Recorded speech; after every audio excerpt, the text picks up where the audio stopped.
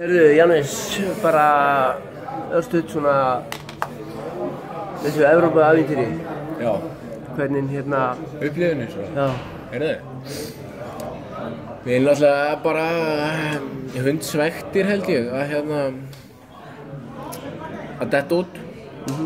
Og, og og núna svona kemur skilur við, það er bara of mörg atriði sem við erum kannski að klikka á og skilur við, maður getur hugsað ógeðslega svekkjandi að fara ekki með plús að heimavellinum sko.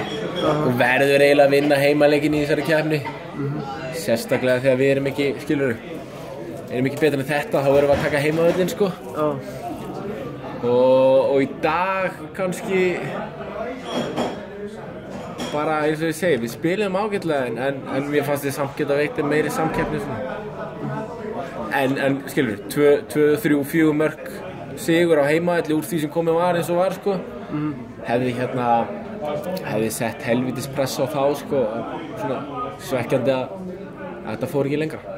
Nú að kannski með umræða svolítið velið um, um haugaliðið að þið séu að spila svolítið öðruvísi bolta í dildinni heldur en í Evrópu.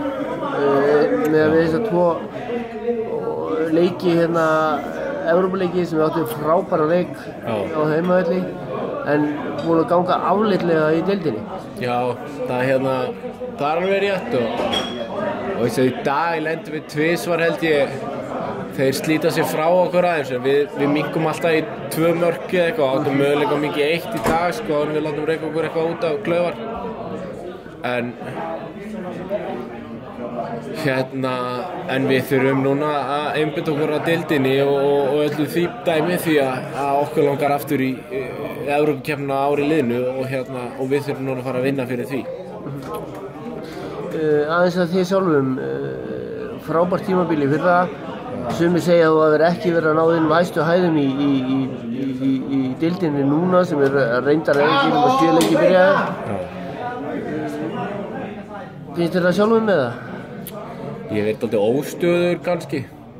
Og hérna spila leikina sem við höfum unnið í heildinni mjög vel.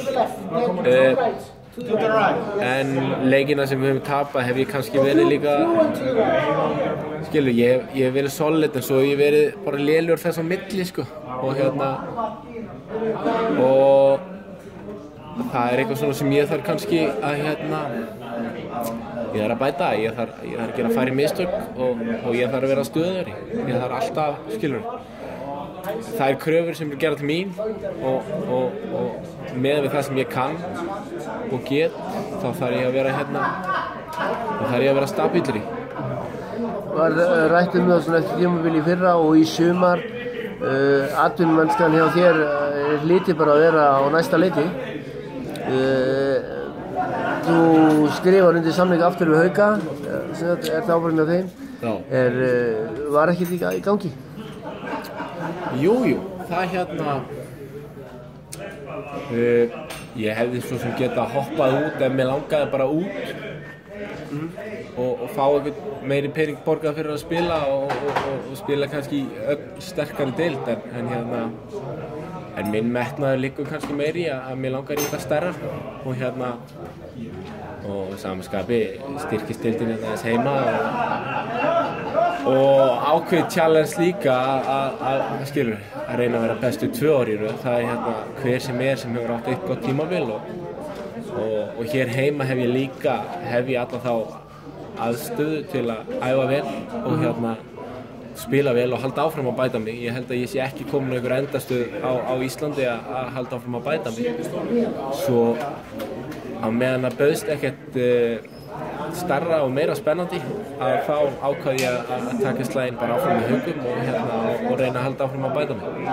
Þessi endalega umræða hverju fórst ekki í uppeldisfélagið og hverju misti uppeldisfélagið á þér og annað hvað, hérna, hvað spilar hann inn í? Að Árnisteinn félagiðinn og góðu vinnur veit ég fer í uppeldisfélagið en, en þú ekki?